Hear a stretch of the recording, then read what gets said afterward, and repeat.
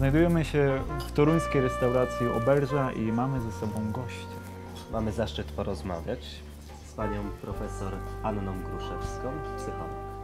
Witam. Witam serdecznie. Jest pani dyrektorem Polskiego Teatru Młodych. Może parę słów o tym.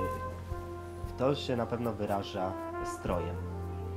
Sztuki teatralne, w których y, główną rolę zajmuje ubiór. Jak wygląda taki? E, Myśmy w 1999 roku e, pokazali e, ten spektakl, który nazywał się Millennium, właśnie w Teatrze Wila Machorzycy. E, Był to spektakl z udziałem aktorów tegoż teatru, oczywiście również i modeli i modelek.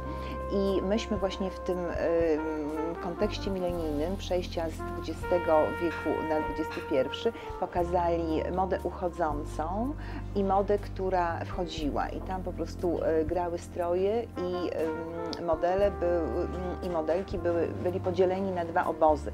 Jeden był obozem dobra, drugi był obozem, e, obozem zła. Ten odchodzący świat, taki e, w, bardzo zakurzony, taki po prostu mało sympatyczny. To był właśnie wiek XX, oczywiście w dużym cudzysłowiu, a z kolei wiek XXI był taki piękny i w to się wyrażało w kolorach, to się wyrażało w strojach.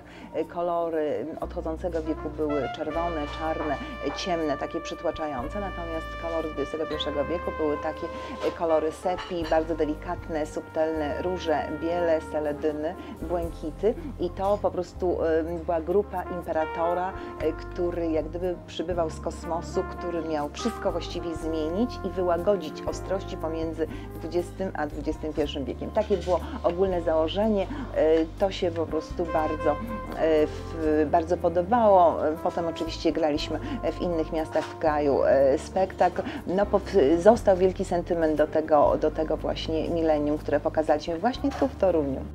Bardzo dziękujemy pani profesor, Profesor. za rozmowę. Ja również Wam serdecznie dziękuję za to, że mnie wybraliście do tej dyskusji. Dziękujemy.